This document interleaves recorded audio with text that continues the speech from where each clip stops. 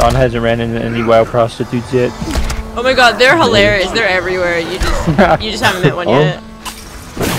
They'll be on the corner. They'll be like, "I'll do a lap dance for five gold." Fucking so silly.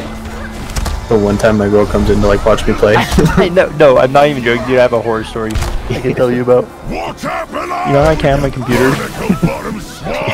You know why it's in the living room, dude? Why?